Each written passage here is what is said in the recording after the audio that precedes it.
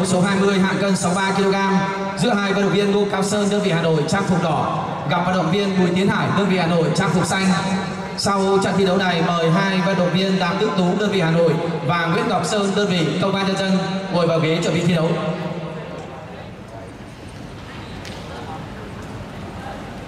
Số hai nhé. số là trăm hết Bay ngắm, bay nó còn xa.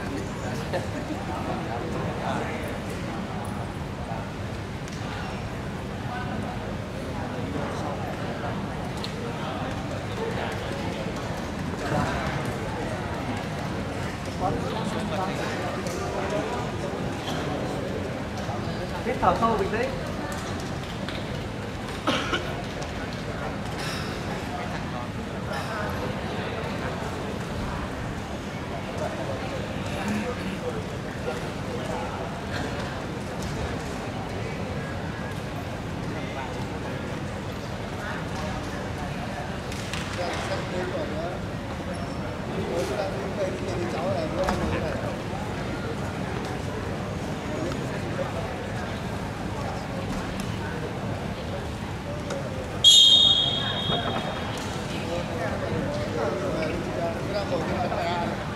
tiếng này rồi nhá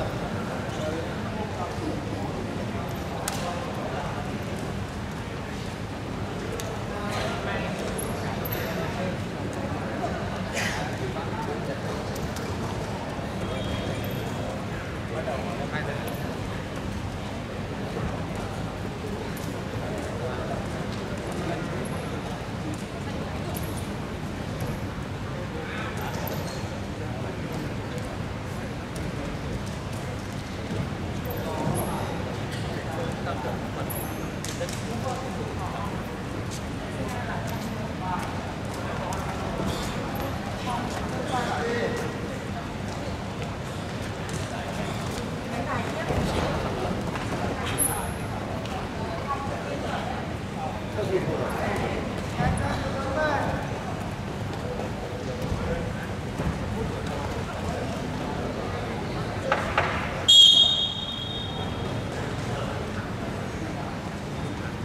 đạo viên đơn vị Hà Nội bỏ khăn răng bên sườn.